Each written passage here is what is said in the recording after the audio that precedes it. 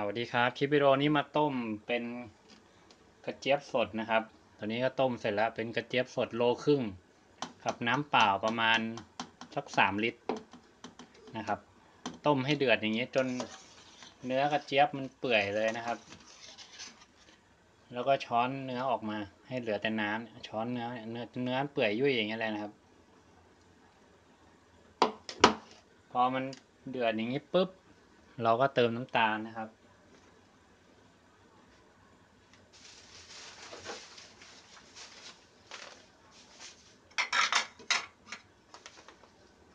ขอชิมนิดหนึ่ง ปรับได้นะครับ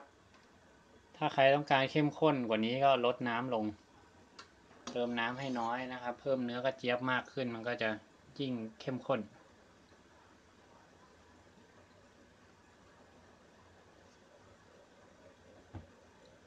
ดีไฟนิดนึง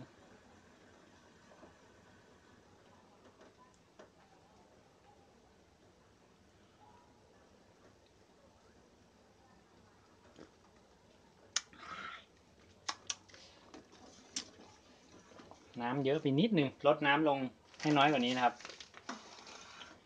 ลองสักโลครึ่งกับน้ำประมาณสักสองลิตรก็ได้ มันต้องเนื้อกระเจี๊ยบต้องโดดเปรี้ยวขึ้นมา แต่นี้เจือจางไปหน่อย จากนั้นนะครับ เติมน้ำตาล อืมถ้าใครอันนี้น้ำตาลหนึ่งกิโลนะ ถ้าใครจะเอาไปใส่น้ำแข็งก็ต้องเติมให้หวานนะครับ ถ้าใครจะเอาไปแช่เย็นแล้วกินเลยสายคีนสายกุกภาพก็เติมนิดนึงพอให้มันได้รสหวานนิดนึงพอนะครับอ่ามาดูนะครับ ถ้าใครสายที่เอาไปใส่น้ำแข็ง น้ำตาโลนึงเนี่ย ใส่เป็นครึ่งโลเลยนะครับ มันค่อยจะหวานค่อยๆเติมนะครับ เนี่ยค่อยๆเติมจากน้ำตาลเต็มถุง เติมไปชิมไป อันนี้สัดส่วนกระเจี๊ยบโลครึ่งกับน้ำประมาณสักสามลิตรกว่ากว่า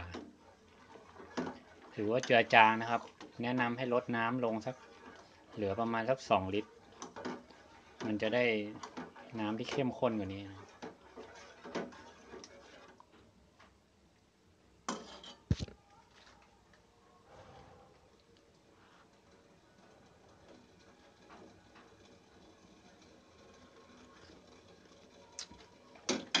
ใส่พริก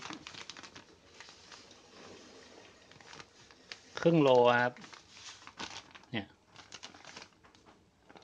ประมาณครึ่งโลน้ำตาล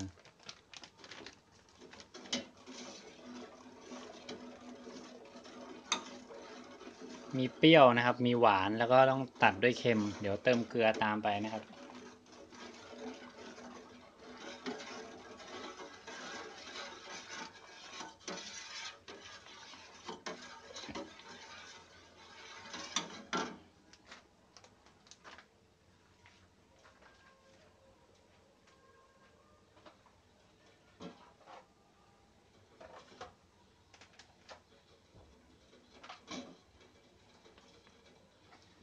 นี่เดี๋ยวให้ดูปริมาณน้ำตาลที่เหลือนะครับ เห็นว่าห้าร้อยกรัมก็ประมาณครึ่งโล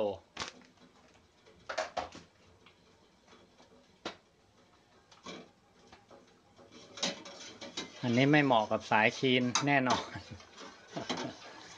น้ำตาลเยอะมากนะครับ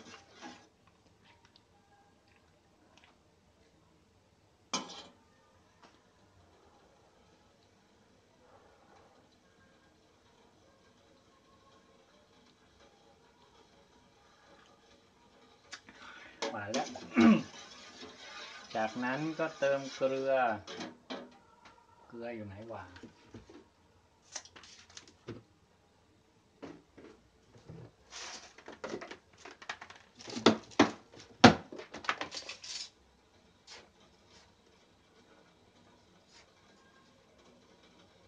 อืมหนึ่งช้อนโต๊ะนะครับ เต็มเต็มๆพูนพูนๆ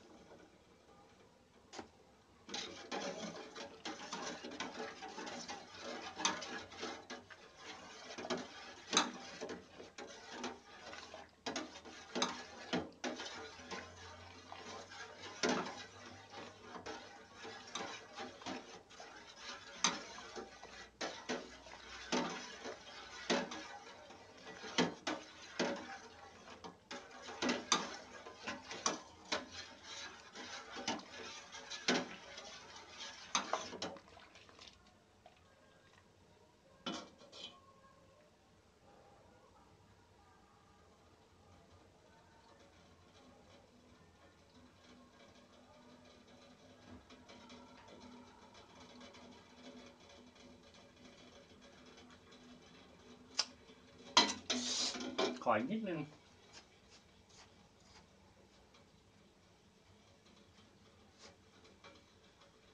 เข็มต้องชัดนะครับ เอาไปอีกทักช้อนโต๊ะหนึ่ง ไม่ต้องพูนไม่ต้องเต็มนะครับ ครึ่งหนึ่งของเมื่อกี้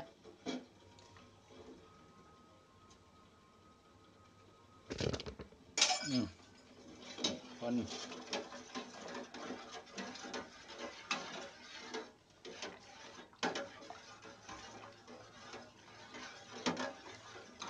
อันนี้ก็เอาไปใส่น้ำแข็งกินก็กำลังดีนะครับเอาแค่นี้เองนะครับง่ายๆผมจะแนะนำเป็นกระเจี๊ยบโลครึ่งต่อน้ำสองลิตรนะครับ น้ำตาลทรายครึ่งกิโล แล้วก็เกลือประมาณสักหนึ่งถึงสองช้อนโต๊ะอะประมาณนี้แล้วกันนะครับ ก็คลิปวิดีโอนี้ก็จบเท่านี้นะครับ เดี๋ยวจะเอาไปใส่น้ำแข็งกิน ไปแล้วครับ สวัสดีครับ